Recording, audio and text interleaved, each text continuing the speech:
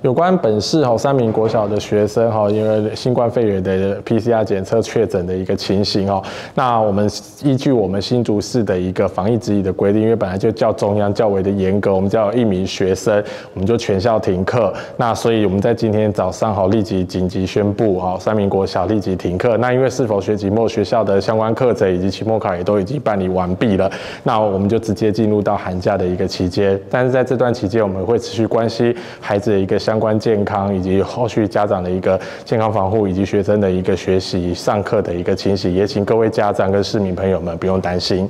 呃，根据目前哈，我们在学校这边了解与这位学生有相关接触，包含他自己班内的一个学生，以及他有上相关的一个课程的老师，总共有啊，总共全部的学生加起来，加上这位学生，总共是有六十名哈，其中包含了五十位的学生以及十位的一个老师，好，但这是都在框列的部分，那也会依照卫生局的一个相关安排，进入学校、进入医院哈，去做一个相关的裁剪，那裁剪的一个结果，我们再依据相关的防疫指引来去做办理。